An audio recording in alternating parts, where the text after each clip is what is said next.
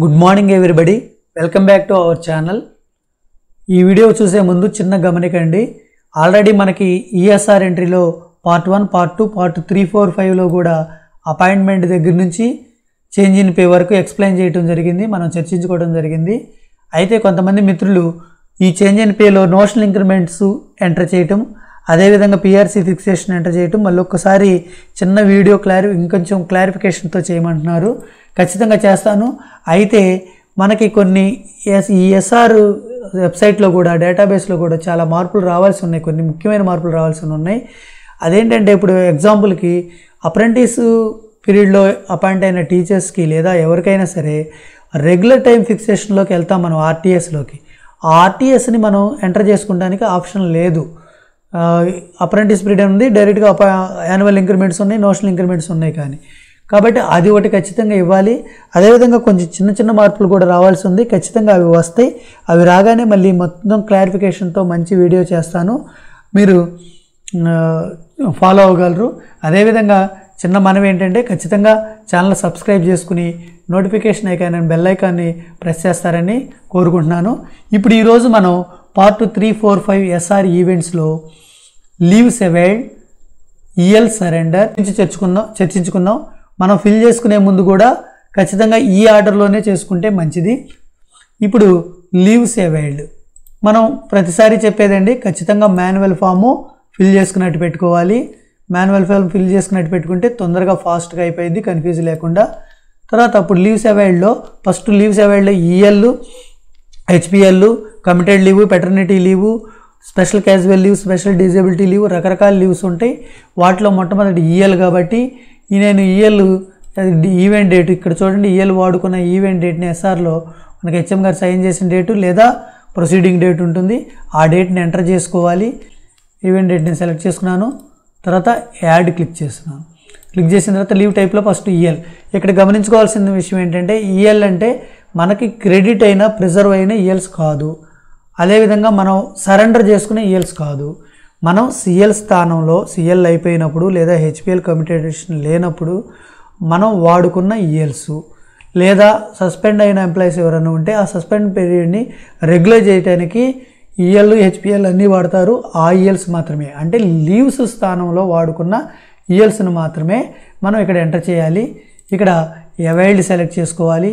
Availed టైప్లో personal అయితే personal medical అయితే మెడికల్ ఎల్టీసీ అయితే ఎల్టీసీ చూడండి ఎగ against regularisation of suspension period dies non dies non అన్నప్పుడు కూడా అది లాంగ్ లీవ్ అప్స్కాండెడ్ అయినప్పుడు లేదా సస్పెన్షన్ అప్పుడు ఇచ్చే పనిష్మెంట్ కాబట్టి ఏదైతే అది సెలెక్ట్ చేసుకోవాలి ఇక్కడ నేను చూడండి త్రీ డేస్ నేను మెడికల్ మెడికల్ రీజన్తో మనకి ఎస్ఆర్లో ఉంటుంది ఖచ్చితంగా ఎస్ఆర్ మాన్యువల్ ఫామ్ రెండు దగ్గర పెట్టుకోవాలి.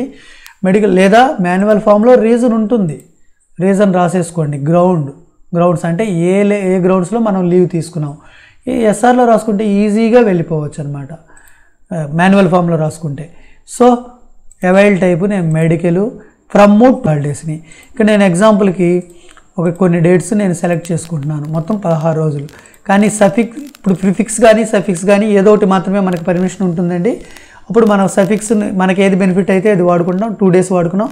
మొత్తం టోటల్ లీవ్స్ సిక్స్టీన్ నుంచి టూ మైనస్ చేస్తే ఫోర్టీన్ ఉంటుంది. ఇక సేవ్ కొట్టేసుకోవటమే. ఇక్కడ రీజన్ రాయాలి. Personal medical medical grounds.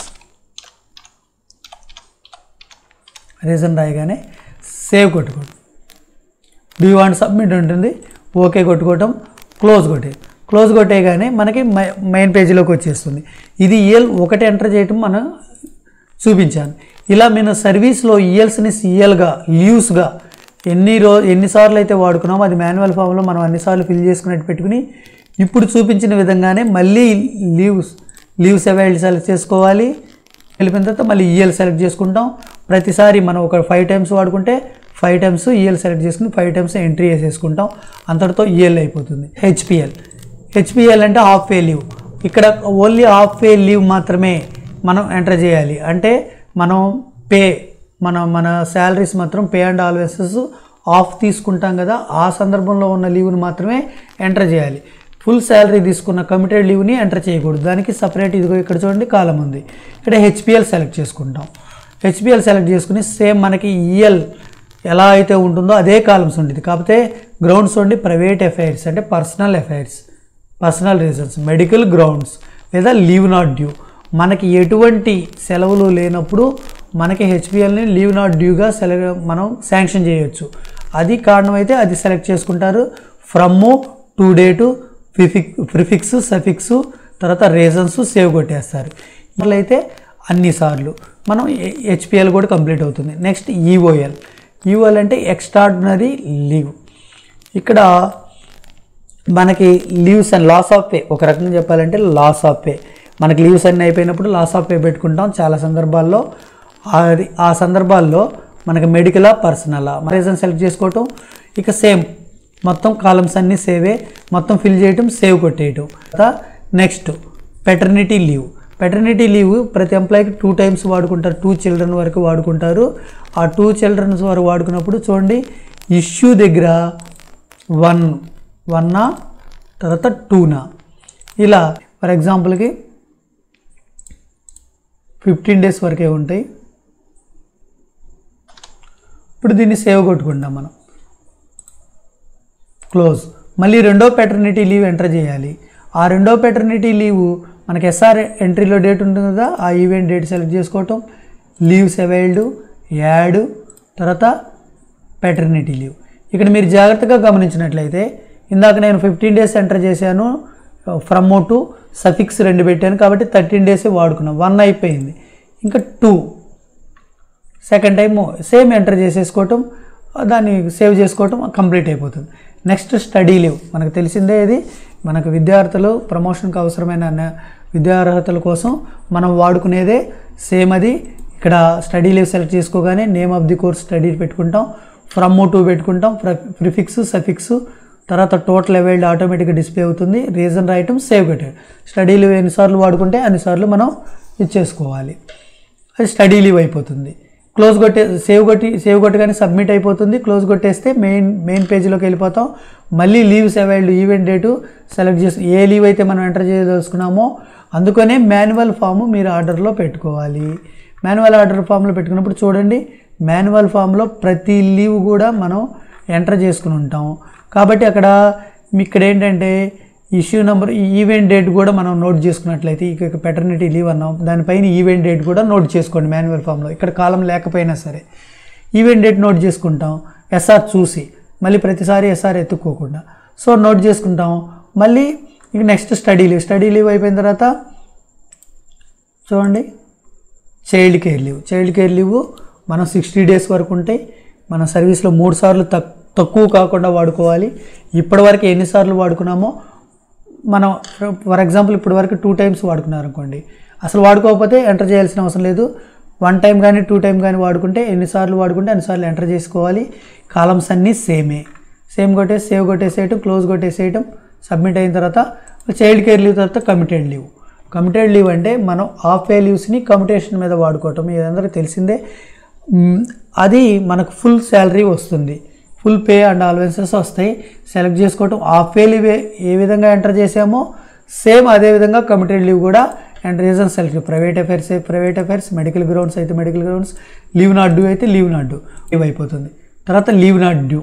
మనకి ఎటువంటి సిఎల్స్ కానీ ఈఎల్స్ కానీ హెచ్పిఎల్స్ కానీ లేనప్పుడు ఇది మనకి డీడీఓ పర్మిషన్తో శాంక్షన్ చేసుకోవచ్చు. సేమ్ అదే columns from to suffix prefix తర్వాత రేజను సేవ్ కొట్టేయడం లీవ్ నాట్ డ్యూ మనం సర్వీస్లో ఎన్నిసార్లు వాడుకుంటే అన్నిసార్లు మనం ఎంటర్ చేసేసుకోవటం. తర్వాత మనం సేవ్ కొట్టి సబ్మిట్ కొట్టి ప్రతిసారి క్లోజ్ కొట్టగానే మెయిన్ పేజ్కి వస్తుంది. మళ్ళీ మనం ఏదైతే చేస్తున్నామో దాని ఈవెంట్ డేటు ఇప్పుడు మనకి ఈఓఎల్ వరకు అయిపోయింది. లీవ్ నాట్ డ్యూ వరకు అయిపోయింది సారీ. Special disability leave. ఉద్యోగం మనం బాధ్యతలో ఉన్నప్పుడు మనకు గాయపడినట్లయితే ఈ లీవ్ను మనం వాడుకోవచ్చు. వన్ ఎయిటీ డేస్ వరకు. కాబట్టి ఫ్రమ్ టు సఫిక్స్ ప్రిఫిక్స్ కామనేనండి మనం ఎన్నిసార్లు వాడుకు అది వాడుకున్న ఎంప్లాయీస్ ఎంప్లాయీస్ ఎన్నిసార్లు వాడుకుంటే ఎన్నిసార్లు? లేదా వన్ టైం వన్ టైం అయితే one time close కొట్టేయటం.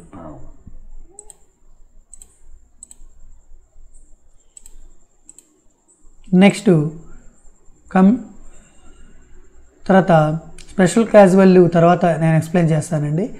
Other leave ఇక్కడున్న లీవ్స్ అన్నింటిలో కాకుండా వేరే ఏదన్నా లీవ్ వాడితే మనం అక్కడ అదర్ లీవ్ కట్టుగానే గ్రౌండ్స్ అడిగింది మెడికల్ పర్సనల్ అనేది మిగతా కాలమ్స్ అన్నీ సేమే. తర్వాత అబార్షన్ లీవ్. ఇది మిస్క్యారేజ్ లీజ్ ఫిమేల్ ఎంప్లాయీస్కి అనుకోకుండా అబార్షన్ జరిగినట్లయితే మనకి సిక్స్ వీక్స్ వరకు నలభై నలభై రెండు రోజుల వరకు లీవ్ శాంక్షన్ చేయటం జరుగుతుంది. మనకి ఫ్రమ్ మూడ్ టు తర్వాత ప్రిఫిక్స్ సఫిక్స్తో ఎంటర్ చేసేయటమే. తర్వాత లీవ్ ఫిమేల్ ఎంప్లాయీస్కి ఉంటుంది. ఫిమేల్ ఎంప్లాయీస్కి మనం హిస్టరెక్టమీ చేసుకున్నట్లయితే ఫార్టీ ఫైవ్ డేస్ వరకు ఉంటుంది. మనకు ఆ ఫార్టీ డేస్ ఫైవ్ డేస్ వాడుకున్నామా లేదా తక్కువ వాడుకున్నామో ఫ్రమ్ టూ డేస్కుని మన కాలమ్స్ మంది ఫిల్ చేసుకుని సేవ్ కొట్టేసుకోవటమే. తర్వాత ఇప్పుడు ఇంకో మెటర్నిటీ లీవ్ ఇవ్వాలి.